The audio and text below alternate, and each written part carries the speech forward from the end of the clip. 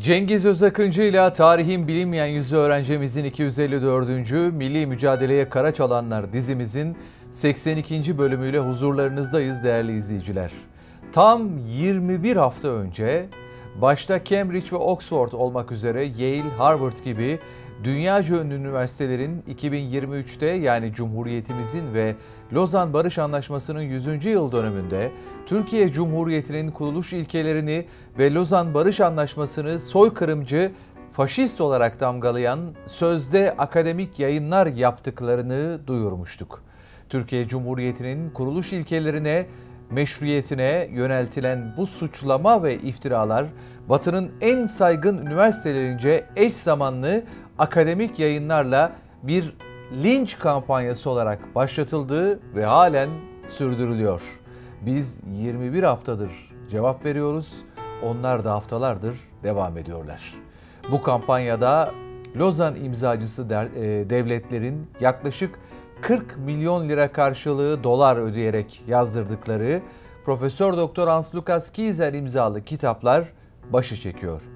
Öğrencimizin bundan önceki 21 bölümünde Hans Lukas Kieser'in bilimsel tez, hipotez, akademik yayın süsü verilerek piyasaya sürülen When Democracy Died, Türkiye'de Demokrasi Öldüğünde Kalıcı Lozan Barışı adıyla yayınlanan kitabının Türklüğe ve Türkiye'ye karşı nefret söylemi içeren bilim dışı psikolojik harekat ve propaganda çalışması olduğunu belgelerle kanıtladık. Bu kitaptaki suçlamaları, iftiraları çürüten belgeleri haftalardır ekranlara getiriyoruz. Hans Tugas Kieser'in söz konusu kitabında İttihat ve Terakki Cemiyeti'ne, Talat Paşa'ya, Ziya Gökalp'e, Mustafa Kemal'e faşist damgası basılmakla kalmıyor.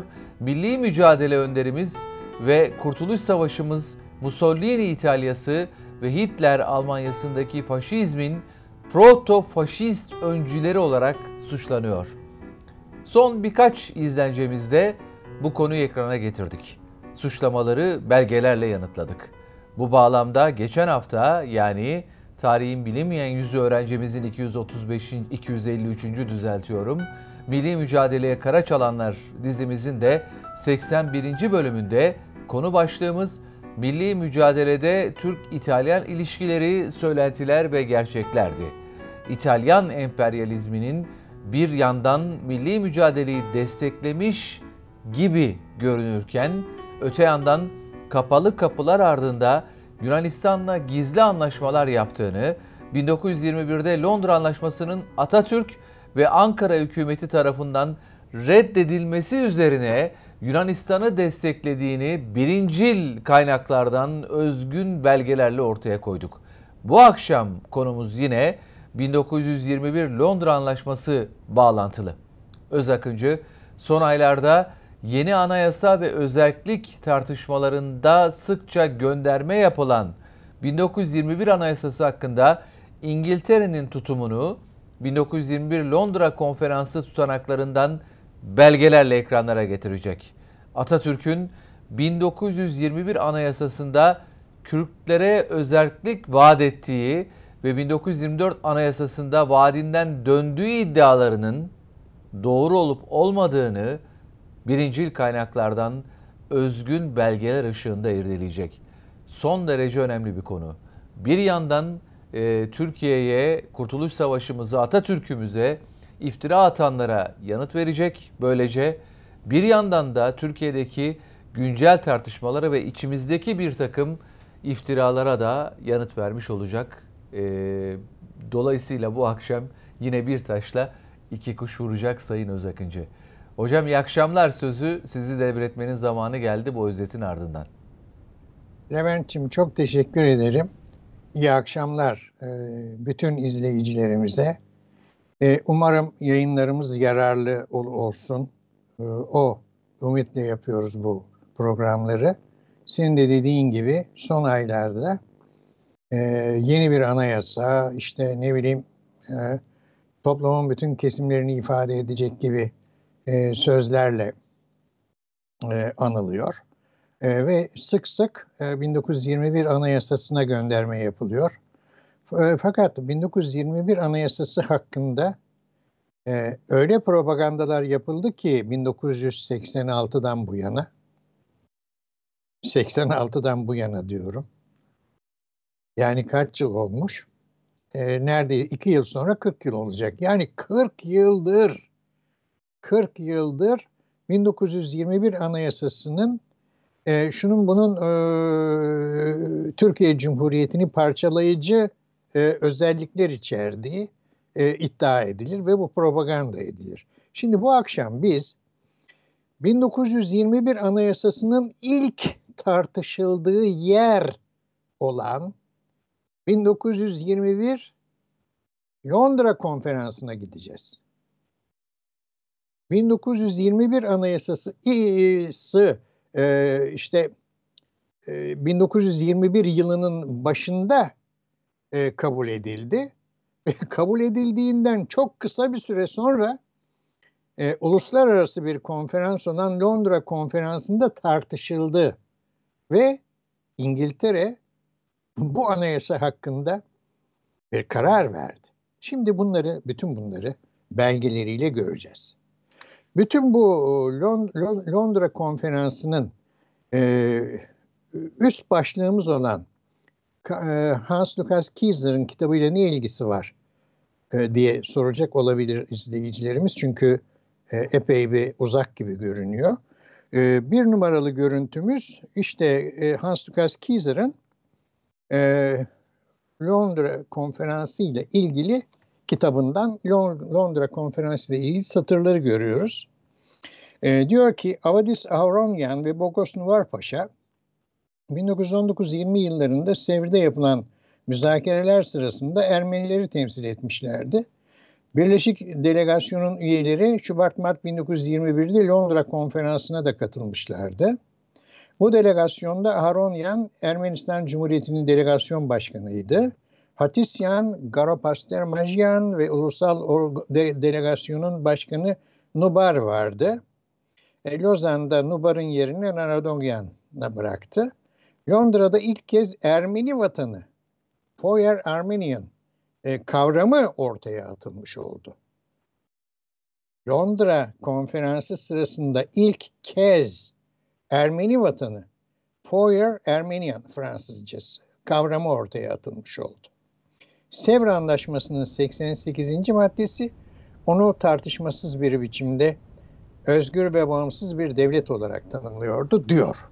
Şimdi burada e, e, şunu e, e, Kizer'ın kitabında e, Londra konferansından pek çok yerde söz edilmekte hı hı. ve Londra konferansının reddedilmesi Ankara hükümeti tarafı Londra konferansı sonunda imzalanan anlaşmaların Ankara hükümetince reddedilmesine ateş püskürülmekte ve Londra'da e, e, e, İtalya, Fransa, e, ve İngiltere'nin dayattığı koşullar kabul edilseydi Türkiye demokrat bir devlet olacakmış. E, reddedilince faşist bir devlet e, olmuş. Kime göre? Hans Lukas Kieser'a göre. Şimdi bu Londra konferansı e, Sevr ve Lozan'ın gölgesinde kaldı. Çoğumuz e, Sevr nedir biliriz, Lozan nedir biliriz ama ikisinin arasında gerçekleşen Londra Barış Konferansı'nı pek e, bilmeyiz. Yani e, e, öyle bir konferans olmuştur da ayrıntılarına girmek e, gereği duyulmamıştır. Çünkü işte Sevr vardır, Lozan'da da o çöpe atılmıştır. Ama arada ne oldu? İşte arada olan şey biz bu akşam Lozan konferansında e, neler konuşuldu, e, onların özetini e, aktaracağız. Önce şunu bilmek gerekir ki Londra konferansı neden toplandı? Yani Sevr var. Ee, Sevr'i İstanbul hükümeti kendi temsilcileriyle 10 Ağustos 1920'de imzalamış. Ee, ve bu e, Sevr'in bir maddesi e, Halife Sultan'ın e, İstanbul'da kalmasına karar veriyor fakat bu karar belli koşullara e, bağlanıyor. O koşullar yerine getirilmezse Halife Padişah İstanbul'dan çıkartılacak ve İstanbul Türklerden alınacak. E, Sevr'in 36. maddesi bu. Şimdi e, bunu e, kabul ettiler. Yani saltanat şurası evet ben bunu yaparım e, yapmazsam e, İstanbul'dan çıkarım. Kabul edildi. Bunun ne olduğunu görelim, nasıl kabul edildiğini görelim. E, iki numaralı görüntümüz e, bu konuda e, sev, e, e, padişahın İstanbul'da kalmasının Anadolu hareketini ezme koşuluna bağlandığını anlattığımız e, kitabımız, işte Lozan kitabımız. E, üç numaralı görüntüde bu kitabımızdan e, 237. sayfadan okuyoruz. E, Sevr'in e, Osmanlı hükümetine e, imzalanmak üzere sunulduğunda bir şart, şart koşul dayatılıyor. Deniyor ki eğer Osmanlı hükümeti anlaşmayı imzadan kaçınırsa ve üstelik imzadan sonra Anadolu'da söz geçirmesini yeniden kurmak ve anlaşmanın yürütülmesini sağlamak konusunda güçsüz bulunursa, müttefikler anlaşmanın maddelerine uygun olarak bu kararı yeniden incelemek ve bu kez Türkleri Avrupa'dan yani İstanbul'dan sonsuzluğa dek kovmak durumuna girebileceklerdi.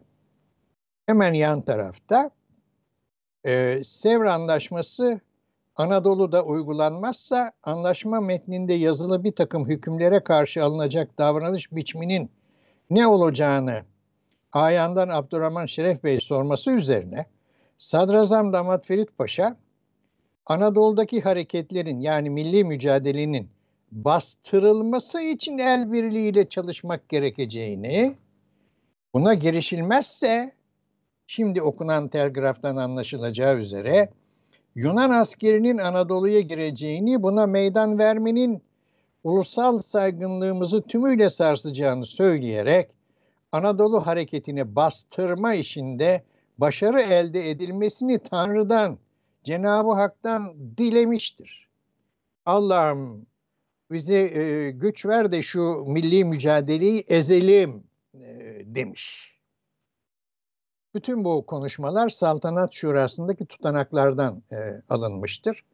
Ve e, az önce ekrana getirdiğimiz kitabımızın e, da ayrıntılarıyla o tutanak olduğu gibi e, verilmiştir. E, Sevri yumuşat e, e, Ocak 1921'de e, İnönü zaferi kazanılınca Sevr'in Anadolu'yu ezerek e, Anadolu e, milli mücadeleyi ortadan kaldırarak e, uygulama umutları zayıfladı. Çünkü e, İnönü, e, birinci İnönü'de Yunan ordusunun ilerleyişi e, sert bir kayaya çarptı.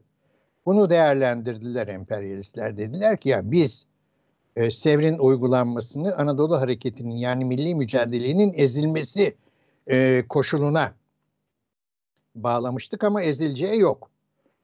O halde Sevr'i biraz yumuşatalım çeşitli maddeleri.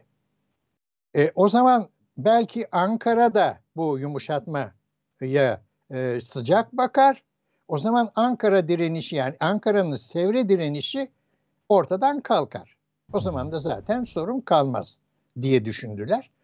Ve Londra'da bir konferans düzenleme e, kararı aldılar.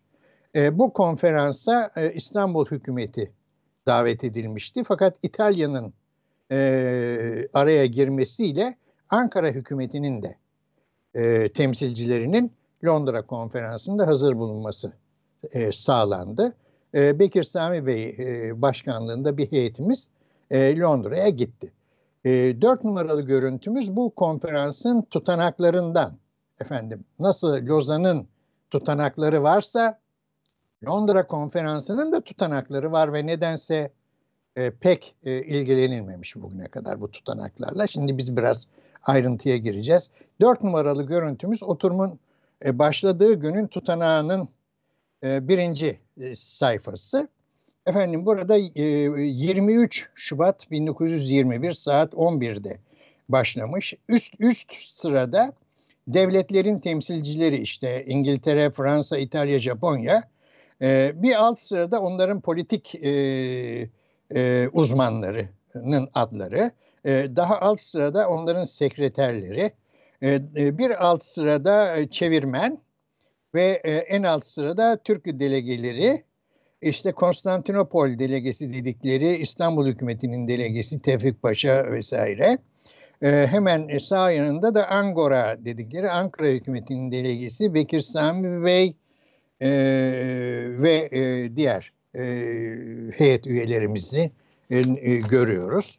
Şimdi bu görüşmeler başladı 23 Şubat e, tarihinde ve sonuçlandığında görüşmeler 12 Mart'a kadar sürdü ve son oturum 12 Mart 1921 tarihiydi. Bütün bu sırada olup bitenleri bizim Ankara hükümetinin temsilci heyeti oturup hükümete bir rapor olarak yazdı. Hı hı. Bu rapor aşağı yukarı 20 sayfa kadar bir rapor. Gün gün e, kim ne e, talep etmiş, kim ne önermiş, biz ne demişiz, e, onlar bizim bu dememize karşılık ne demişler, yeni öneri getirmişler mi? Bütün bunları özetleyen 20 sayfalık bir rapor. Bu rapor e, Atatürk'ün Milli Dış Politikası adlı kitap kitapta e, yayınlandı. Ben de şimdi buradan ekrana getireceğim ve özetle e, aktaralım diyorum. 5 e, numaralı görüntümüz Londra Konferansı e, raporu. E, okuyoruz efendim. E, Londra'ya muvassalatımızın yani varışımızın 3. gününe müsaadif yani tesadüf eden 23 Şubat 1921 tarihinde St. James Sarayı'nda inikat eden toplanan konferansa davet olunduk. Mr. Lloyd George, Sevr e, Muhaydesinin anlaşmasının e, uzun ve tahripkar bir harbe son vermekten ibaret bulunduğunu, halbuki oysaki muadenin yani Sevr Anlaşması'nın imzalanmasından bu yana bu amacın e, bir türlü sağlanamadığı gibi birçok kanlı çarpışmalar da devam etmekte olduğunu e, ve çarpışmalara son vermek ve Anadolu'da barışı e, geri getirmek amacıyla Türkiye İmparatorluğu delegelerini Londra'ya davet eylemiş olduklarını ifade etti. Ben biraz günümüz Türkçesine uyarlayarak ne kadar elimden geliyorsa çalışmaya çalışıyorum. Tevfik Paşa Ankara Millet Meclisi'nin seçerek iş bu e, meclis adına söz söylemeye yetki verdiği murahhaslar bir sonraki sayfa delegeler e, konferansça davet edilmiş olduğu e, yönünden e, önerilerini konferansa bildirmeleri amacıyla sözü bunlara yani Ankara e, delegelerine terk ettiğini beyan etti. İstanbul delegesi Tevfik Paşa. E, Büyük Millet Meclisi e, e, Delegeler e, Kurulu Başkanı Bekir Sami Beyefendi idi. E, Türk e, Delegeler Heyeti'nin e, ortaya koyacakları talepler e, Türklerin bağımsız bir millet olarak on, o, e, milli onurlarını koruyabilecek her türlü devam e, mevcut e, varlıklarını devam ettirecek e, önlemlerin alınması düsturuyla, ilkesiyle özetlenebilecek e, ni beyan ettikten sonra Ankara Büyük Millet Meclisi'nin programına ait ayrıntıyı e, içeren bir beyannamenin okunmasıyla e, okunmasına izin verilmesini talep eyledi. Bir sonraki sayfa 7 numaralı görüntümüz. Bekir Sami Bey Ankara hükümetinin e, gözünde Sevr anlaşmasını e, uygulamaya e, koymak Türk milletinin siyasi hayatı ve e, iktisadi hayatını ölüme mahkum etmek demek olduğunu söyledi. Bir sonraki sayfa. E, Bekir Sami Bey e, siyasi ve iktisadi e, sorunlar e, konusunda Türkiye'nin e, isteklerini içeren bir e, ekli bir muhtırayı, andırıyı okudu. Bir sonraki sayfa. E, Monsieur Lord George e, Doğu Trakya ve İzmir konularıyla Kürdistan ve Ermenistan hariç olmak üzere e, büyük devletlerin diğer e, askıdaki diğer sorunlar hakkındaki kararlarını Türk e, delegeler heyetini kabul ederek e, anlaşmaya dair artık başka e, isteklerde bulunmamaları lüzumuna dair olduğunu ifade etti. Bir sonraki sayfa Bekir Sami Bey Kürdistan ve Ermenistan meselelerine gelin, gelince kendisinin e, adlarına e, sözcülük ettikleri e, heyeti murahhasa yani delegeler heyeti e, Türkiye Büyük Millet Meclisi'ni temsil etmekte ve bu meclis ise bütün Kürdistan'ın e, temsilcilerini içermekte olduğunu ve Ermenistan meselesinin e, söz konusu e, olduğu sırada delegeler heyetini bu konudaki e, görüşünü de beyan edeceğini e, ifade etti. Yani Bekir Sami Bey diyor ki e, Kürdistan diye bir mesele mevzu bahis değil çünkü Kürdistan dediğiniz zaten Türkiye Büyük Millet Meclisi'nde milletvekilleri var. O, o onlar kendileri temsil ediliyor orada e, dedi. Bir sonraki e, görüntümüz 11 numara evet. Burada işte çarpışma başlıyor. 26 Şubat 1921 tarihinde İngiltere e, Dışişleri Bakanlığı'nda e, delegelerden yalnız Bekir Sami Beyefendinin, beyefendinin e, katılımıyla gerçekleşen toplantıda Lord Curzon Kürdistan ve Ermenistan'a e, ilişkin olan e, maddelerin, Sevr'deki maddelerin yeniden e, incelemeye alınması, e, aralarında e, geçmiş olan o, olayları ve ha, hadiseleri, olayları e, gerinden bulunduğunu beyan ve Kürdistan hakkındaki e, hükümleri yani Sevr'deki hükümleri hülasa ettikten, özetledikten sonra Bekir Sami Bey'in bu konuda ne diyeceğini su sual eyledi. Yani Sevr'deki Kürdistan ve Ermenistan maddelerini özetliyor e, Lord Curzon, Curzon özetliyor ve diyor ki Bekir Sami Bey'e delegemize sen bu konularda ne diyorsun? Yani Kürdistan ve Ermenistan konusu 1921 yılında Londra'da toplanan ve Sevri yumuşatma e, hedef alan, amacı bu olan ve Sevr'in yumuşatılarak Ankara'ya da kabul ettirilmesi amacıyla toplanan o konferansta yine baş konu Kürdistan, Anadolu toprakları üzerinde bir Kürdistan ve bir Ermenistan kurulması. Sevr'deki o maddeleri okuyor Lord Curzon ve soruyordu ki e, Türklere siz bu konuda ne diyorsunuz? Devam edelim okumaya. Efendim, Bekir Sami Bey, Kürdistan halkının Türkiye Büyük Millet Meclisi'nde milletvekilleri vasıtasıyla tamamen temsil edildiğini ve bundan dolayı kendisi doğrudan Türkleri nasıl temsil ediyorsa çok önemli. Kendisi bizzat yani Bekir Sami Bey kendisi bizzat Türkleri nasıl temsil ediyorsa Kürtlerin de aynı biçimde temsilcisi, meşru temsilcisi olduğunu, bu iki ırk biri diğerine ortak kültür, ortak his, duygusal duygu durum ve ortak dini bağlar ile bağlı olup Kürtlerin daima Türkiye ile bölünemez bir bütün oluşturduklarını ilan etmiş olduklarını söylüyor Bekir Sami Bey.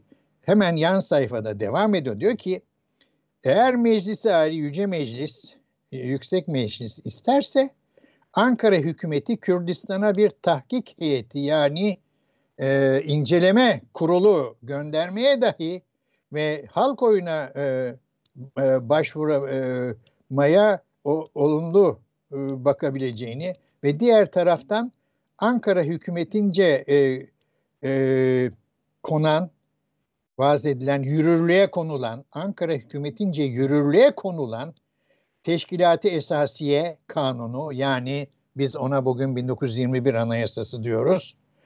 Ee, Ankara hükümetince yürürlüğe konulan 1921 Anayasası gereğince bazı e, konularda vilayetlerin muhtariyeti idareden, idari muhtariyetten e, yararlanmakta olduklarını, eğer Kürtlerin çoğunluğu teşkil ettiği yerlerde ahali, halk arzu ederse Türkiye'nin buraları için muhtariyeti mahalliye, e, mahalli muhtariyet bahşetmeye hazır olduğunu, Kürtlerin kesafet, yoğunluk oluşturduğu yerler e, bir özellikle de Bitlis ve Van vilayetleriyle Musul vilayetinin bir kısmından ibaret olduğunu, İran hududunda sınırında Kürtlerin özellikle sayı olarak çoğunluk olduklarını, oysa ki Erbil, Altınköprü, Tusurmatu'nun Türk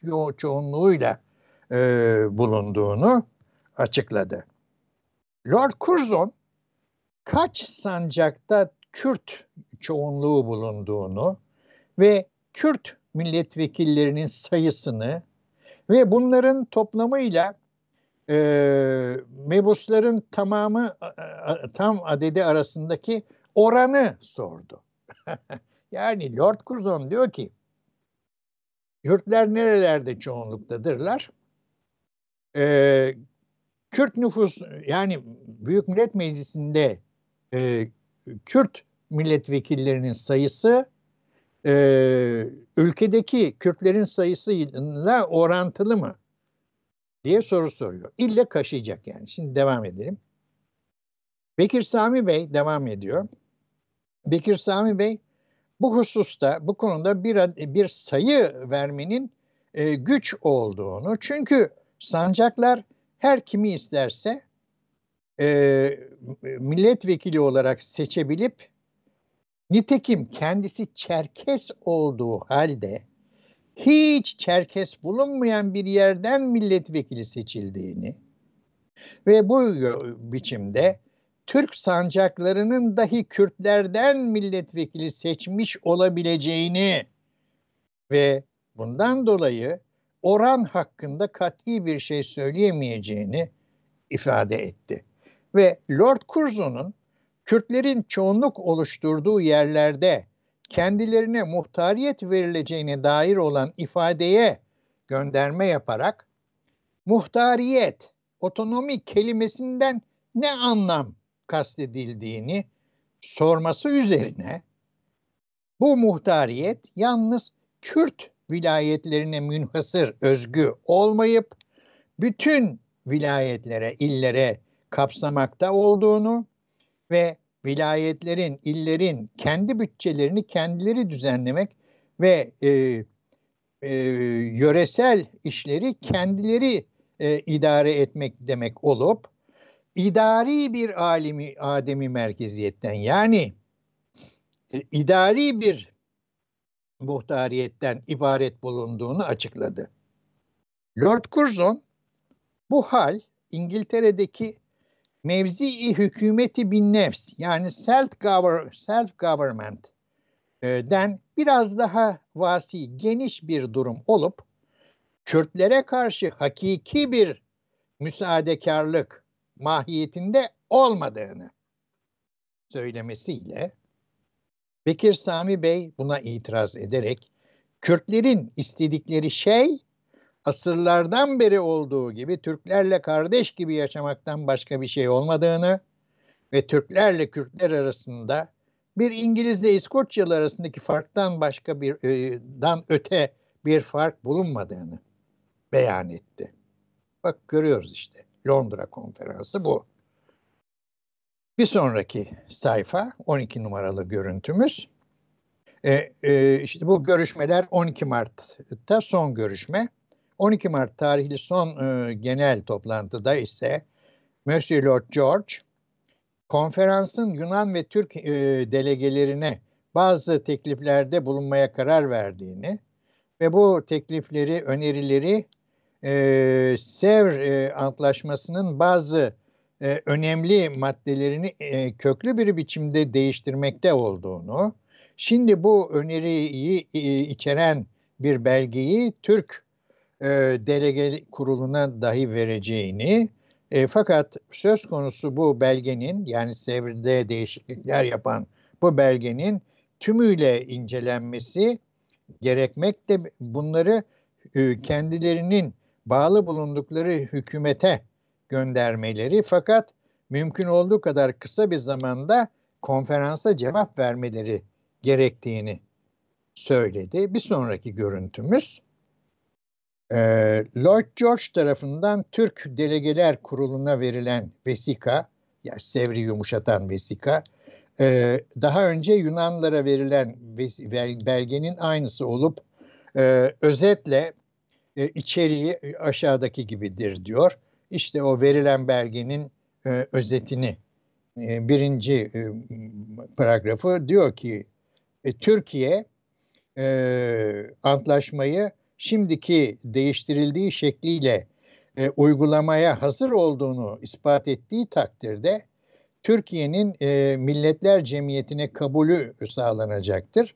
Türkiye'nin bazı e, durumlarda İstanbul'dan uzaklaştırılacağı hakkındaki tehdit mu muahededen Sevr Anlaşması'ndan kaldırılacaktır. Yani yeni bir teklif veriyor İngiltere ve e, bağlaşıklar. E, şimdi yaptıkları bu değişikliği Türkiye kabul ederse e, anlaşma, barış anlaşması imzalanacak. Yapılan değişikliklerden birinci maddesi e, Sevr'de e, Halife Sultan'ın İstanbul'da e, bırakılması belli koşullara bağlanmıştı. Yani Anadolu hareketinin ezilmesine bağlanmıştı. Şimdi o şartı kaldırıyoruz diyor. Yani e, bunu kabul eden artık demeye getiriyor Ankara'ya. Hemen aynı e, sayfada, hemen sağ sayfada e, bir, e, bağlaşık devletler Kürdistan hakkında e, Sevr Anlaşması'nın şimdiki e, e, duruma uygun bir biçimde e, değiştirilmesini e, teemmül etmeye hazır ise de Kürt ve Asuri yani Süryani ve Gıldani çıkarlarının ve muhtariyeti mahalliyesinin yani mahalli muhtarlıklarının himaye ve tesili korunması e, sağlanması şarttır diyor. Bir sonraki e, sayfa, son sayfa bu raporun ne olduğunu dipnotta açıklıyor. Diyor ki Londra konferansı hakkında Dışişleri Bakanı Bekir Sami Bey kurulu tarafından hükümete, Ankara hükümetine sunulan rapordur. Konferans 27 Şubat 1921'den 12 Mart 1921'e kadar devam etmiş ancak olumlu bir sonuç vermemiştir diyor efendim. Şimdi burada e, demiştik ki 1921 Anayasası'nın e, ilk e, tartışıldığı yer e, uluslararası platform olarak e, Londra konferansıdır dedik ve tartışan kim? E tartışan İngiltere, Lord Curzon. Evet. Şimdi burada bakalım 15 numaralı e, görüntümüz. Evet. Lord Curzon e, az önce okuduğumuz özet rapordaki sözlerini tekrar üzerinde duralım. Lord Curzon e, 21 Anayasası ile ilgili olarak e, diyor ki efendim e, Lord Curzon bu hal İngiltere'de yani 1921 ee, Anayasası'nda yazılı olan muhtariyet sözcüğü bu hal İngiltere'deki mevzi hükümeti bin nefs, self government e, den biraz daha geniş bir hal olup durum olur. Kürtlere karşı hakiki bir müsaadekarlık mahiyetinde olmadığını söylemiş. 16 numaralı görüntümüz e, orijinal tutanaktan Fransızca orijinal tutanakta bu sözler nasıl geçiyor? Bu e, Başbakanlık Osmanlı arşivinde var olan e, tutanak. Az önce aktardığımız sözleri içeren e, tutanak. 26 Şubat 1921'de tutulmuş. Hemen sağ sayfada e, kırmızı çerçeve içine aldığımız şey aslında çevirisi tam olarak şöyle. Yani e, 1921 Anayasası'nda sözü edilen e, muhtariyetin İngiltere'de yerel öz yönetim olarak adlandırılan şeyden başka bir şey olmadığını belirten Lord Curzon, Kürtlere Kürt olarak herhangi bir şey verilmediğini söyledi. Yani yani Lord Curzon 1921 Anayasası'nda sözü edilen muhtariyetin etnik, Kürtlere Kürt olarak herhangi bir şey, etnik bir e, özellik sağlamadığını söylüyor. Halbuki Türkiye'de 40 yıldır yapılan propaganda ne? 1921 Anayasası Kürtlere özellik verdi. Sonra Atatürk bu verdiği vaatten caydı şeklinde bir propaganda yapılıyor. E, Lord Curzon yani İngiltere yani bölücü başı nasıl değerlendiriyor? Hayır bu bölünme sağlamıyor diyor. Yani amaçlanan, Sevr'de amaçlanan e, Kürdistan'ı 1921 Anayasası'nın muhtariyet maddesinin ile sağlanmadığını söylüyor. Yani 1921 Anayasası'nın e, muhtariyet bölümünün ilk yorumlandığı yer işte 1921 Londra Konferansı. Nasıl yorumlandığını az önce hem bizim heyetimizin verdiği rapordan hem de e, antlaşmanın orijinal sayfalarını ekrana getirerek gördük. İngiltere 1921 Anayasası'nın Kürt e, e, özelliği, Kürt ayrıcılığı getirmediğini tespit ediyor. Bu e, önemli. Kürt aşiretlerinden Londra konferansında e, Lord Curzon'un ve Lord George'un e, Kürtlere özellik istediği e, yayılınca haber olarak e, Güneydoğu'daki e, Kürt aşiretlerinden Büyük Millet Meclisi'ne Londra konferansında Lloyd George'a gönderilmek üzere telgraflar yağmaya başladı. Bu yağan telgrafların bir kısmı Türkiye Büyük Millet Meclisi'nde okundu. İşte o okunan telgrafları şimdi e, görelim. Efendim 17 numaralı görüntümüzde diyor ki Ankara Büyük Millet Meclisi Riyaseti Celilesi'ne başkanlığına 1920'de Fransızların teşvikiyle Şeyh Garipzade Fuat ve amcazadesi Kemal ve polis müdürü e, eski polis müdürü Emin Efendiler Arap İttihat ve Alevi Kulübü adıyla bir dernek açarak Klikya'nın Fransız himayesi altında bir muhtariyete özelliği e, idare edilmesi için Londra konferansına başvurduklarını ve hatta yerli Arapları temsil etmek üzere bir de delege gönderildiğini haber aldık. Şimdiye kadar kardeş arasında nifak sokmaya muvaffak olamayan Fransızlar bu defa da bir takım aceze ve fıkarayı tehdit ve birkaç deniyi e, e, para ile e, tutarak bütün Arapları temsil etmek küstahlığında bulunuyorlar. Aylardan beri Anadolu hükümeti milliyesi, milli hükümeti Ziri cenah, cenahında yöresinde Türk kardeşleriyle vatanı kurtarmak için yan yana çarpışan Adana Arapları, eşrafı Ayan ve ashabı servetinin bağ, bahçe ve çiftlikleriyle mağaza ve dükkanlarının Ermeniler tarafından yağma ve tahrip edilmesine e, cani Fransız hükümetinin alenen izin verdiği ve göz yumduğu fiilen görülmüştür. Bundan dolayı yüzyıllardan bu yana aynı din ve aynı haklara sahip olarak beraber yaşadığımız Türk kardeşlerimizden hiçbir biçimde ayrılığı kabul edemeyeceğimizi ve Ankara hükümeti, e, milli hükümeti ve e, meşru hükümetine bağlı e, yazgımızı, kaderimizi bağlamaktan başka amacımız olmadığını ve İslam camiasından bizi ayıracak herhangi bir kararı silahımızla ve kanımızın son damlasına kadar müdafaa için ahdü misak yemin ettiğimizi alemi medeniyete, uygarlık dünyasına tebliğ buyurmanızı, bildirmenizi ve e, e, e, e, aşağıdaki e, şahıslar hakkında yani yukarıda adı geçen Arap ayrılıkçılığı güden şahıslar hakkında da hıyaneti vataniye kanununa göre şiddetli e, ceza e, verilmesini rica ederiz diyor e, ve altta imzalar var.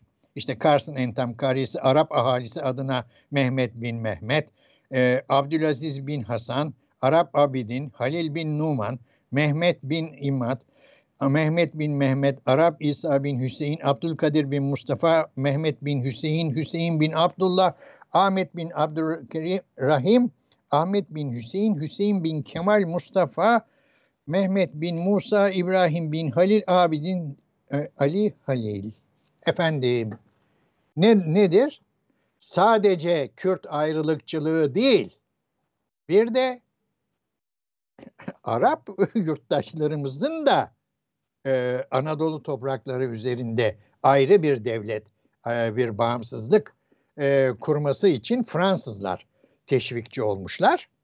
E, bu haber alınmış Londra konferansında böyle böyle e, teklifler de bulunulduğu. Bunun üzerine göre halkı buna isyan etmiş ve e, biz Türklerden ayrılmayız. E, dinde dinde silah sarılırız diyor. Yani ayrılmaya kalktığımız zaman buna silahla karşı koyarız. Buna yemin ettik. Ayırmana kalkana da vatan haininden muamele yapın diyor. Bu. Ricası bu. Şimdi gelelim aynı sayfada Kürdistan meselesiyle ilgili e, Londra konferansına giden telgrafa. Kürdistan meselesi diye bir mesele mevcut olmadığına dair Şark Doğu vilayetlerinden gelen telgraflar. Reis, son günlerin e, olayları dolayısıyla Kürdistan'dan, Kürt kardeşlerimizden gelen birçok telgrafnamelerimiz vardır. Kendilerinin böyle bir girişimi olmadığına ve Kürdistan konusu olmadığına dairdir. Bir tanesini okuyalım. Bir sürü telgraf var, bir tanesini okuyalım diyor. Ee, e, Ankara Büyük Millet Meclisi e, Başkanlığı'na Kürtler küçük lokmanın pek kolay yutulacağını vaktinden çok evvel anlamışlardır. Türk birliğinden ayrılmak zihniyetinde bulunanları Kürtler kendi milletlerinden addetmezler, saymazlar. Kürtlerin mukadderatı, kaderi, Türk'ün mukadderatı ile kaderiyle tevemdir, bir, bir, bir bütündür. Biz Kürtler Türkiye Büyük Millet Meclisi hükümetinden başka halaskar, kurtarıcı beklemediğimiz gibi düveli itilafi eden itilaf devletlerinden merhamet dilenmeye tenezzül etmiyoruz. Misak-ı milli dahilinde sulh, e, barış e, imzalanmasını sağlamak üzere bütün varlığımızla hükümetimize yardım edeceğimizi ve Türkiye Büyük Millet Meclisi hükümeti dahilinde Kürtlüğün ayrı bir ünsur olarak anlaşılmasını hiçbir zaman işitmek istemediğimizi arz ile muvaffakiyetler temenni ve takdimi tazimat eyleriz. İzole aşireti reisi, Berçkan aşiret reisi, Bükler aşiret reisi, ulemayı ekrattan, ulemayı ekrattan, Zeyve aşiret reisi, ulemayı ekrattan, eşraf ekrattan, eşraftan, e, eşrafı ekrattan, Aluçlu aşiret reisi, Uma, ulemayı ekrattan, ulemayı ekrattan, eşrafı ekrattan, Cürdi aşiret reisi, Deyukan aşiret reisi, eşraftan eşraftan imzalar efendim görüleceği üzere. Bir e, sonraki görüntümüz bu okuduğumuz e, telgraf 17 Mart 1921 e, günlü telgraftı. E, şimdi e, 19 Mart 1921 günlü e, Türkiye Büyük Millet Meclisi tutanağında yer alan bir başka telgrafı okuyoruz. Bir, Kürdistan meselesi mevcut olmadığına, Kürtleri ancak Büyük Millet Meclisi'nin temsil edeceğine ve bu cihetin Londra konferansına bildirildiğine dair Van vilayetinden alınan telgraf hakkında Dahiliye Vekaleti İçişleri Bakanlığı teski yazısı. Reis, Kürdistan meselesi olmadığının Van vilayetinden heyeti murahhasa ile e, delegeler kuruluyla düveli muazzama e, işte büyük devletler delegelerine yazıldığına dair Dahiliye Vekaleti İçişleri Bakanları yazısı vardır. Okunmasını arzu buyuruyor musunuz?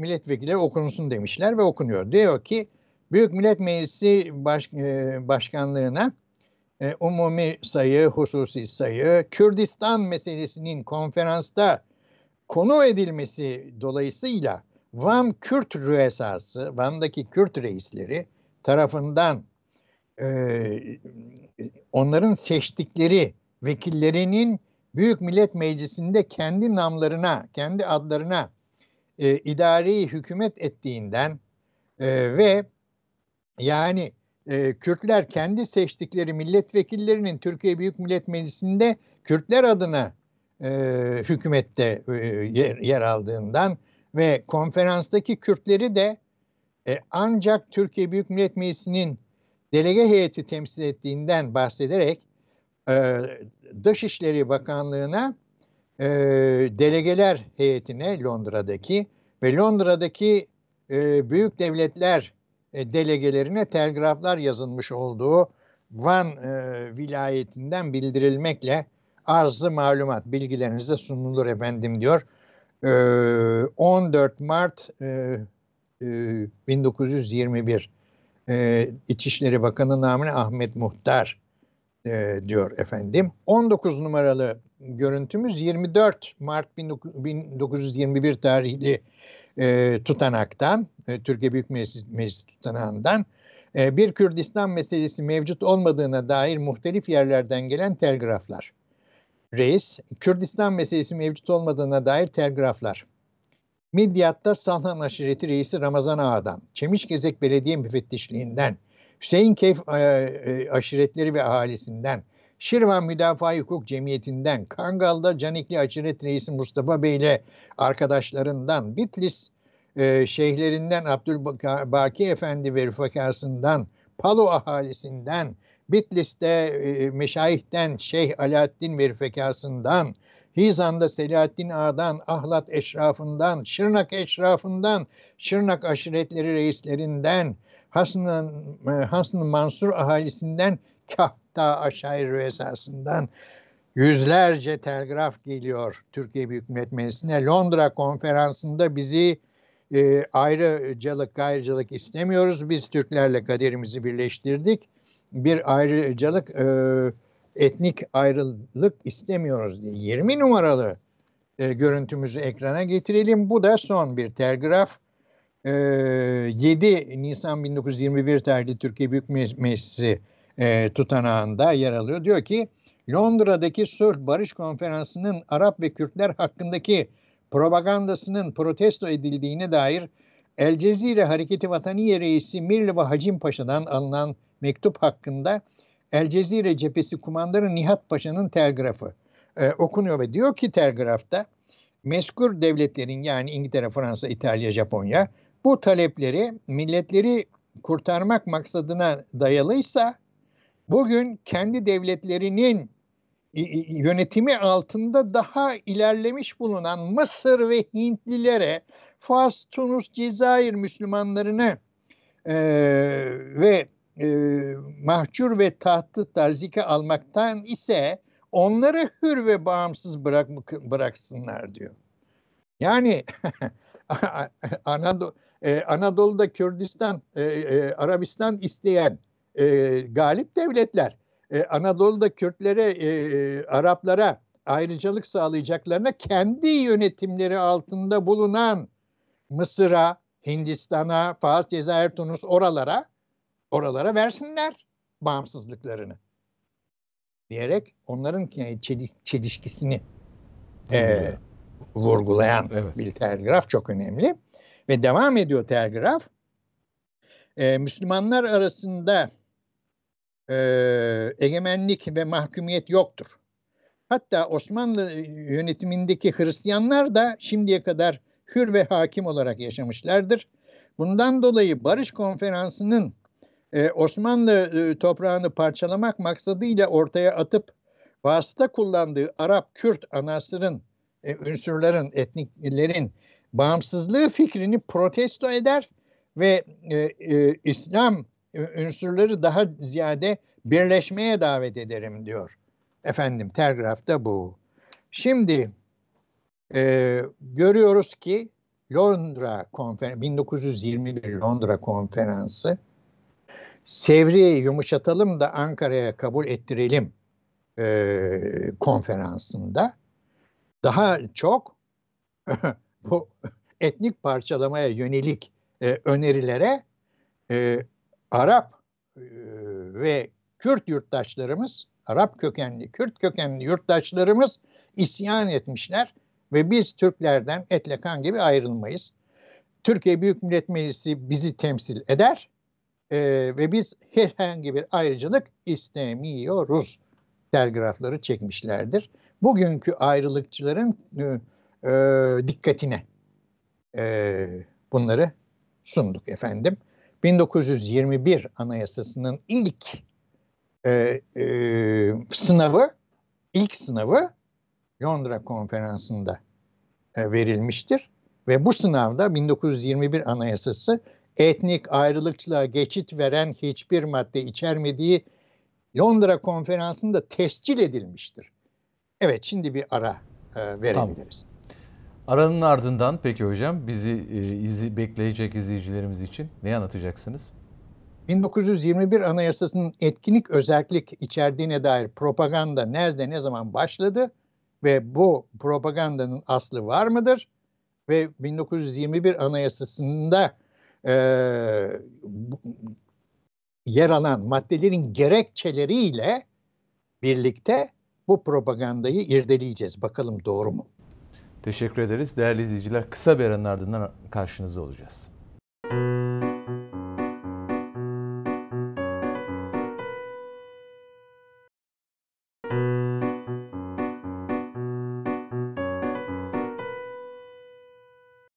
Cengiz Özakıncı ile tarihin bilinmeyen yüzü öğrencimizin 254. Milli Mücadeleye Kara Çalanlar dizimizin 82. bölümünün ikinci yarısıyla huzurlarınızdayız değerli izleyiciler. İkinci bölümde yaklaşık 25 dakikalık süre içerisinde 1921 Anayasası'nın bölücü olduğuna ilişkin iftiralar e, nereden kaynaklandı ve e, bu iftiraların gerçekten e, bir aslı astarı var mı? Buna ilişkin yine birincil kaynaklardan özgün belgeleri göreceksiniz. Sözü hemen Sayın Özakıncı'ya devredeceğim. Buyurun hocam. Efendim bu propaganda ne zaman başladı? Önce onu bir e, görelim. E, e, 12 Eylül döneminde e, 12 Eylül yönetiminin e, e, Türkiye'yi 8 eyalete ayırmayı planladığını e, Türkiye siyasi Türkiye'nin siyasi intiharı kitabımda e, e, Atase belgelerini yayınlayarak e, ortaya koymuştum. Daha sonra 2005 yılında bunu ortaya koyduktan sonra Kenan Evren e, Marmaris'te buldular gazeteciler. Benim kitabımda ortaya koyduğum o belgeyi sordular bu doğru mu? Yani siz 12 Eylül yönetimi olarak Türkiye'yi 8 eyalete e, ayırma planınız var mıydı? Evren de evet vardı demiş. Ne olacak? Yani her birinin bayrağı da ayrı olur e, tıpkı Almanya'daki gibi olur gibi e, bunu yalanlamadı. Dolayısıyla 12 Eylül yönetiminin e, eyalet yönetimine geçmek gibi bir e, amacı olduğunu fakat bunu e, lanetlenmemek için sivil yönetime bıraktıklarını ve sivil yönetimin de biz de lanetleniriz diyerek üstlenmediğini e, yazdım e, kitabımda. Yani e, bu önemli bir ayrıntı hocam. Araya girmeme müsaade edin o dönemdeki ulusal damarın e, buna engel olduğunu evet. mu düşünüyorsunuz? O açıklamalar bu yönde. Hepsinin belgesi var. Evet. Yani Ö- Özal eyalet yasasını meclise getiriyor. Kendi partisi içinden yahu biz e, tarih boyunca lanetleniriz diye bu partiye oy verilmiyor bu tasarıya. Bunların hepsi anlatıldı. Şimdi yıl 1987 e, Kenan Evren'in Cumhurbaşkanlığının son e, günleri e, 2000'e doğru dergisi şu kapakla yayınlandı. 21 numaralı görüntümüzü ekrana getirelim. E, 30 Ağustos 1987 tarihli sayı. E, gizlenen belge başlığı atılmış. E, altında Atatürk Kürtlere özellik ba, başlığıyla e, yayınlanmış. Bu e, kapakla başladı e, bu konunun propagandası. İşte e, Atatürk Kürtlere özellik vaat etti. E, fakat ne olduysa oldu. Sonradan bu vaadinden döndü şeklinde bir yayın bu. Bu e, yayında işte Atatürk 1923 yılında Ocak ayında e, efendim e, Eskişehir İzmit konuşmalarında e, Kürt konusunda ne düşünüyorsunuz diye gazetecilerden biri sormuş. E, o da e, işte e, anayasamızda muhtariyet var e, demiş. Şimdi onu da göreceğiz birazdan. İşte o muhtariyet sözünü alıp e, Kürtlere özellik vaat edilmişti 1921 Anayasası'nda. Propagandası böyle başladı. Bu e, konu e, önce e, Abdülmelik Fırat e, Genelkurmay'dan bir e, general beni çağırdı ve e, e Atatürk'ün 1923 konuşmasını bana verdi. Orada böyle bir özellik geçiyordu diye başladı. Arkasından Yaşar Kemal e, e Cumhuriyet Gazetesi'nde, arkasından işte 2000'e doğru gazetesi böyle böyle yayıldı. Şimdi e, nihayet 2010 yılına gelindiğinde işte anayasa değişikliği e, söz konusu olduğunda, referandum söz konusu olduğunda 22 numaralı görüntümüzde e, Öcalan e, bir bir gün gazetesinin 3 e, Nisan 2010 tarihli başlığı şöyle. Öcalan iki nokta üst üste olacaksa 1921 anayasası olsun. Haber böyle başlıyor. İçinde Abdullah Öcalan anayasa değişikliği ve referandum sürecini değerlendirirken 1916-20 e, sürecinden sonra 1921 anayasası oluştu. Bu anayasanın daha sonra netleştirilip demokratleştirilmesi beklenirken 1924 anayasasıyla bu anayasada tamamen Kürtlerin imkanı, inkarı vardır 1924. Daha oligarşik ve bürokratik bir anayasa haline getirildi. E, şimdi de AKP anayasasını e, anayasası haline getiriliyor. Ben 1921 anayasasını yeniden güncelleyelim diyorum diye konuştu. Anka Ajansı'nın e, bir e, haberi bu. O tarihteki daha... Anka Ajansı tabii yani e, terörist başının ifadelerini vurgulayalım terörist başı olarak ifade ederek taşımış. Evet, evet. evet. evet şimdi e, bu den sonra yok işte efendim e, e, diğer seçimlere yakın kurulan altılı masalar, beşli masalar, e, bilmem e, Cumhur İttifakı yok, Millet İttifakı yok, o partiyle bu parti birleşti falan falan.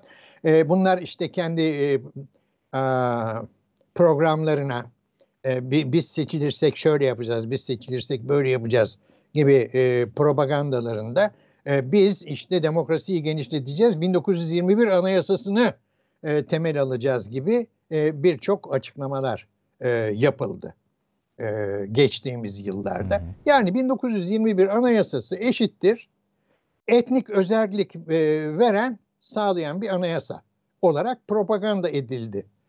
Parti liderleri tarafından yapıldı. Hem ana e, e, muhalefet hem iktidar partisi e, mensupları tarafından kamuoyuna verilen demeçlerde böyle bir izlenim uyandırıldı. Şimdi e, yine yeni anayasa söz konusu ediliyor. Yine 1921 Anayasası oh tam istediğimiz gibi şeklinde bu etnik ayrılıkçılar e, düşünüyorlar. Fakat bakalım her yasa, her yasanın bir gerekçesi vardır. O gerekçe dışında yasalar yorumlanamazlar. Yani kendi gerekçeleri dışında farklı bir yorum getiremezsiniz e, yasalara. Bu bir hukuk kuralıdır. Şimdi 1921 Anayasası'nın e, gerekçesi e, e, 1920 20 yılının bu anayasa meclise 1920 yılının 18 Kasım'ında getirildi. Yani madde madde tartışılması 1920 20 e, yılının e, Kasım ayında 18 Kasım günlü Türkiye Büyük Millet Meclisi tutanağında var. Şimdi o tutanağı da bu anayasanın bu maddeleri yani vilayet yönetimi ne nasıl E, onu onu görelim. 23 numaralı görüntümüzde e, Anayasa Encümeni özel e, encümeni e, İsmail Supi e, Soysallı Burdur milletvekili encümen başkanı yani komisyon başkanı. E, arkadaşlar bize halkçılık programı adı altında e, hükümetin takriben bundan iki ay evvel yani e, 9 Eylül 1920'de göndermiş olduğu ve tarafınızdan e, oluşturulan encümeni mahsus özel komisyon e, teşkilata esasiye yani anayasa e, laiha komitesi namı altında adı altında meclisi halinize yüce meclise sevk ettiği kanun tasarısını bugün görüşmeye başlıyoruz. E, bu an memleketimiz tarihinde tarihi e, idari ve siyasi siyasimizde hiç şüphesiz fevkalade bir andır diyor. E, İsmail Supi ve Soysallı Bey gayet güzel görmüş. Bu an çok önemli bir andır. Bu 1921 Anayasası tarihimiz için çok önemli demiş ve 100 yıldan sonra değil mi? E, onun önemini e, anlıyoruz. 24 numaralı görüntümüz aynı günlü oturumdan okumaya devam ediyoruz efendim. E, devam ediyor e, Soysallı. Efendiler, encümeniniz e, vilayetlerin meclisleri tarafından bir heyeti icraiye e, yürütme kurulu e, seçilmesini ve o e, yürütme kurulunun e, reisi tarafından bil fiil valilik vazifesinin e, yerine getirilmesini e, uygun görmüştür. Ancak şu da vardır ki vilayetler kendi başına bir devlet değildir. Dikkat, dikkat, dikkat, dikkat. Ne diyor e, encümen? Bu anayasayla kurulacak olan vilayetler kendi başına birer devlet değildirler. Daha açıklamanın başında e, iller kanununun ayrı bir devlet oluşturmayacağını söylüyor. Devam edelim bu önemli açıklamaya. Gerekçe bu çünkü. Hı hı. Diyor ki devam ediyor. Diyor ki e, vilayetler kendi başına bir devlet değildir. Amerika hükümeti müttehitesi Amerika Birleşik Devletleri gibi değildir her vilayetin e, sahip olduğu e, e, muhtariyet mahalli, yerel işlere e, özgülenmiştir. O işler ki yalnız o vilayeti ilgilendirir. O işler o vilayetin işleridir. E, bundan dolayı jandarma gibi genel e, güvenliğe a, ilişkin olan ve mesela demiryolu inşaatı gibi birden çok ili alakadar eden vergilen ve e, genel te, e, öneriler gibi yine devletin e, e, genel bünyesine e, ilgilendiren askerlik gibi yine devletin e, ilkesel e, temelini e, teşekkür eden e, mühim işler merkeze alınmıştır. Yani Ankara. Bunlar merkezden gönderilen vali e, aracılığıyla görülür bu işler. Mesela küçük bayındırlık işleri, mesela bir kanal e, kazılması, bir köprü inşaatı, sonra yine böyle e, eğitim, ziraat, orman vesaire işleri bunlar. Mahallerinde bırakılmıştır. Yalnız büyük devletin esas e, oluşumuna ait işler tamamen merkeze alınmıştır. Yalnız merkezin, valinin bir vazifesi vardır ki o da e, yerel meclisin devletin görevleri genel görevlerine ilişkin olan işlere karıştığını görürse vali mesela Antalya vilayetinin meclisi umumisi kalkar da İtalya devletiyle bir gümrük anlaşması imzalamaya girişirse o zaman devletin esas vazifesine ilişkin olan bir mesele olduğu için bu vali bunu men eder. Devam ediyor sağ alt köşede. Yani hükümet düşünmüş ve biz de düşündük. İktisadi, coğrafi e, münasebetler itibariyle memleketi bazı bölgelere ayırarak buraları birer müfettiş göndereceğiz. Mesela Aydın, Karesi, Menteşe az çok e, e, iklim itibariyle e, vaziyeti coğrafyası itibariyle birer mıntıka bölge teşkil edebilirler. Buraya bir müfettiş tayin edeceğiz. Konya, Ankara mesela Yayla, mıntıka olmak itibariyle buraya bir müfettiş göndereceğiz. Encümen düşündü efendiler bu müfettişlerin mahiyetine vilayetlerde bulunan memurları vereceğiz. Mesela bir vilayet merkezinde bulunan marif müdürü e, vilayette bulun artık vilayette bulunmayacaktır. Müfettişin mahiyetinde bulunacaktır ve müfettişin e, e, teftişatı e, dairesinde o vilayetin marif umurunu teftiş edecektir. Binaenaleyh efendiler bir müfettiş e, ile mahiyetinde mütehassıs bir takım müfettişler bulunacak demektir.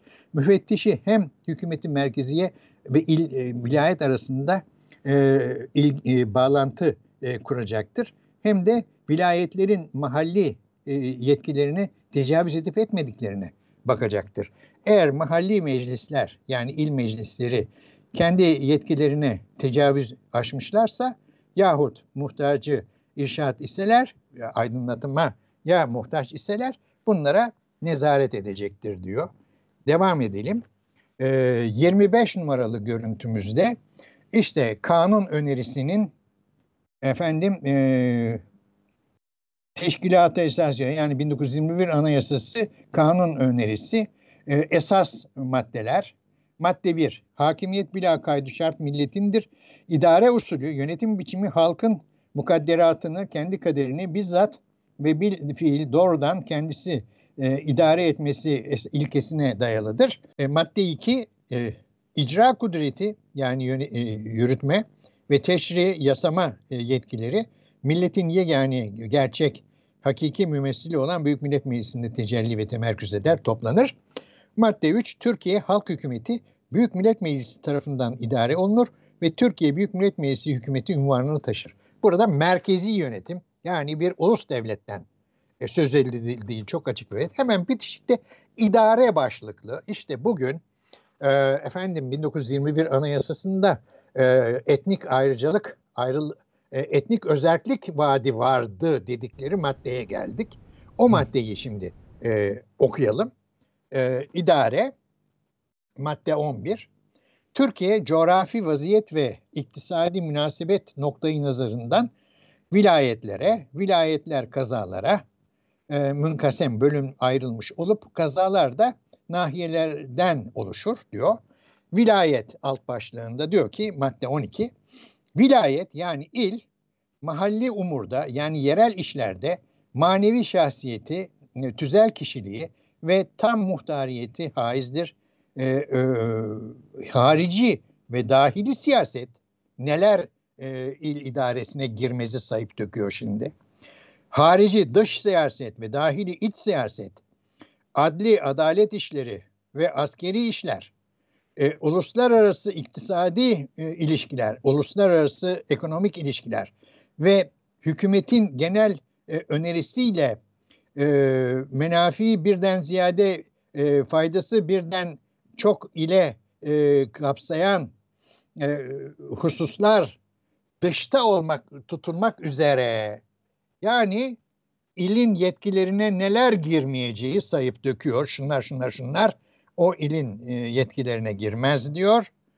Büyük Millet Meclisi'nce vaaz edilen kanunlar e, gereğince marif, sıhhiye, iktisat, ziraat, nafa ve muaveneti içtimaiye işlerinin tanzim ve idaresi vilayet meclislerinin selahiyeti, yetkisi dahilindedir e, diyor. Efendim burada vilayet meclislerinden e, söz ediyor. Bu vilayet meclisi yani e, e, illerde bir vilayet meclisi kurulacak. Bu e, meclis seçimle belirlenecek üyeleri ve e, o meclis sadece o ili ilgilendiren, e, ülkenin gelenini ilgilendirmeyen, sadece orayı e, ilgilendiren bir takım e, işlere e, karar verebilecek.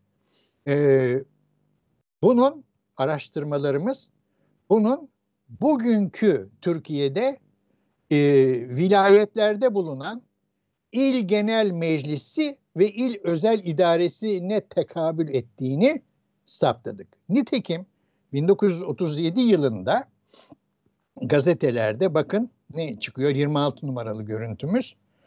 8 ee, Mart 1937 tarihli e, Cumhuriyet Gazetesi'nde bir haber. E, hayvan mezarlığı. Ölen hayvanlar için İzmit'te mezarlıklar yapılacak. İzmit mu- muhabiri. E, İzmit Baydar Müdürü Ziya Tan ortaya çok orijinal bir teklif atmıştır. Bu teklif Vilayet Umumi Meclisi'ne sunulmuş ve kabul edilmiştir. İzmit Baytar Müdürü'nün teklifi şudur, işte ölen hayvanlar için de bir mezarlık olsun. Vilayet Meclisi bu e, konuyu tartışmış, bu öneriyi tartışmış ve kabul etmiş.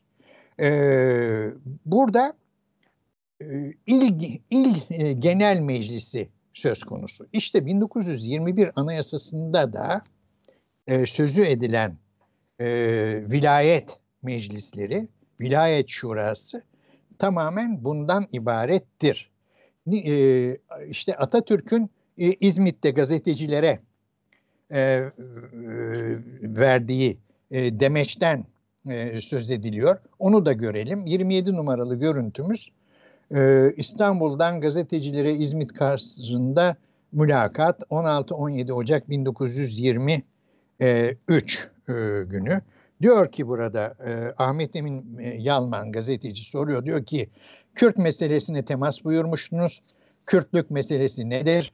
Dahili bir mesele olarak temas buyurursanız çok iyi olur diyor. Gazi Mustafa Kemal Paşa diyor ki başlı başına bir Kürtlük tasavvur düşünmektense bizim Teşkilatı Esasiye Kanunu yani 1921 Anayasası gereğince zaten bir tür mahalli muhtariyetler teşekkül edecektir.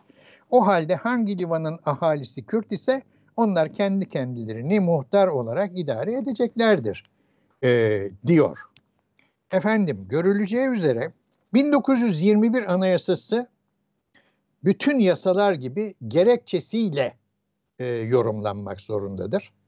1921 Anayasası meclise sunulduğunda Anayasa Komisyonu e, encümeni her bir maddenin gerekçesini e, meclise açıklamış ve meclis o gerekçelerle o maddeleri değerlendirerek oylamalar yapmıştır.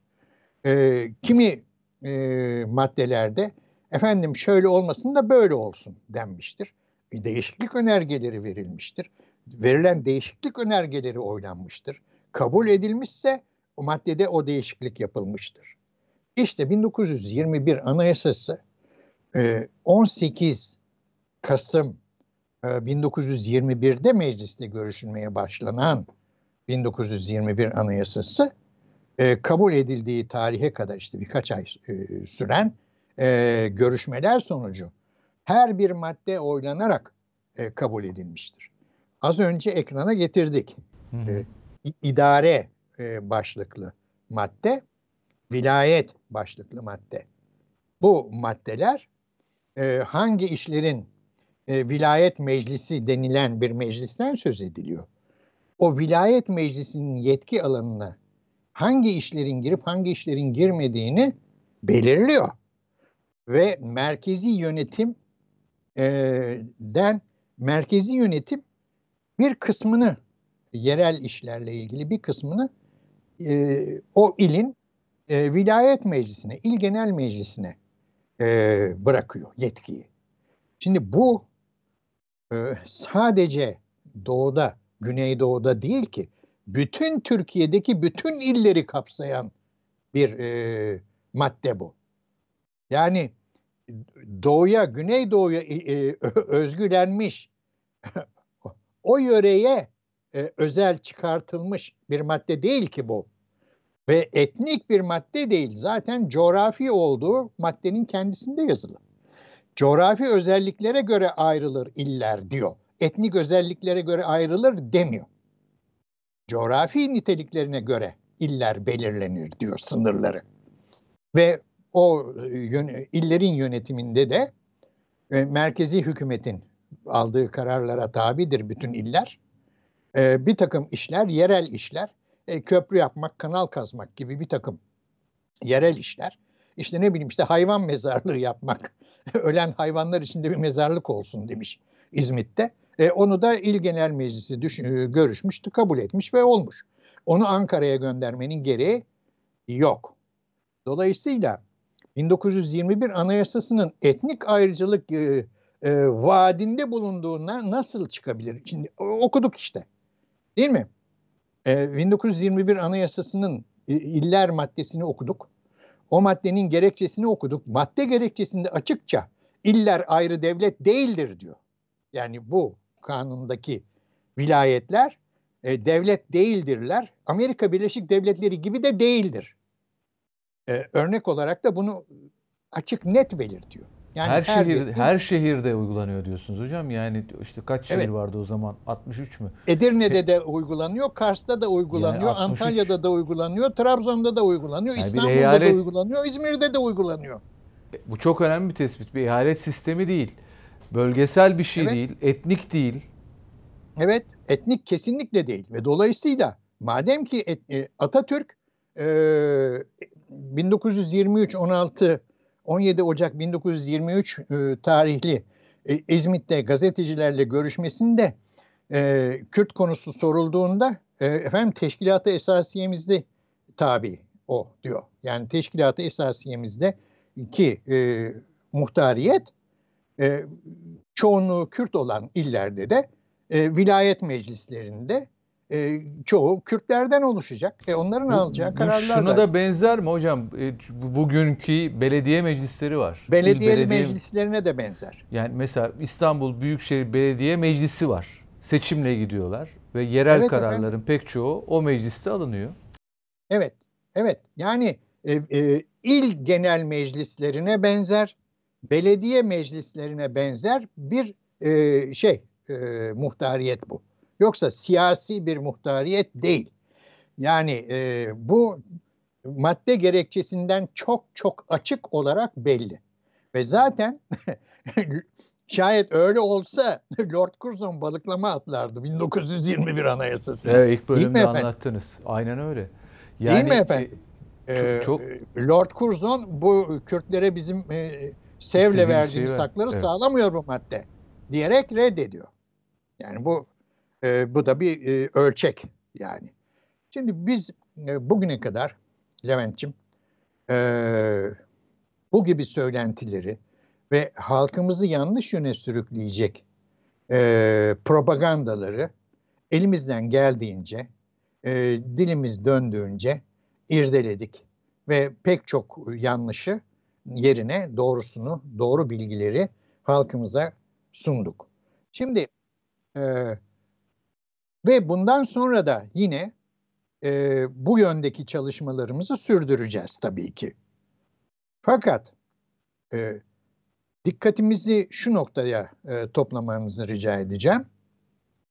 Bütün ele aldığımız bütün e, e, yanlışlıklar e, ülkemizin, ulusumuzun yaşamını değiştirmeye yönelik yalanlarla ilgiliyiz herhangi bir yalanla değil. Bundan sonra gelecek nesilleri, kuşakları bile etkileyecek. Eğer doğru kabul edilmesi halinde ve ona göre e, işlem yapılması halinde Türkiye'nin çehresini tamamen değiştirecek e, söylentileri, yalanları, gerçek dışılıkları e, programımızda ele alıyoruz. 1921 Anayasası hakkında üretilen söylentiler de bu bağlamda bir söylentidir. Bakın 100 yıldan fazla bir zaman sonra bugün e, insanlar Aa, yeni anayasa yapıyor. Madem yeni anayasa yapılacak öyleyse 1921 anayasasına dönelim. E, çünkü orada çünkü o anayasada e, e, etnik e, ayrıcalıklar, etnik özellik tanıyordu. E, Atatürk'e bir de döneklik atfediyorlar. Yani 1921 yılında etnik özellik vaat etmiş Kürtlere, 1924'te 3 yıl sonra dönmüş. Toparlayalım hocam. Şimdi böyle bir şey yok. Biz bugüne kadarki e, çalışmalarımızda bu gibi ulusumuzun yaşamını kökten etkileyecek propagandaları ve gerçek belgelerle, birincil kaynaklardan özgün belgelerle irdeledik ve e, çoğunun da doğru olmadığını gördük. Milli mücadelemize, milli mücadele önderlerimize, kuvayi milliyemize, Türkiye Cumhuriyeti'nin temel ilkelerine ve meşruiyetine, Lozan'a, Türk devrimine yönelik saldırılara ömrümüz yettiğince aklımız yettiğince, dilimiz döndüğünce yanıt vermeyi sürdüreceğiz. Her zaman söylediğimiz gibi tekrar edelim. Kuvayi Milliye'ye selam, milli mücadeleye devam diyoruz efendim. İyi akşamlar değerli izleyiciler.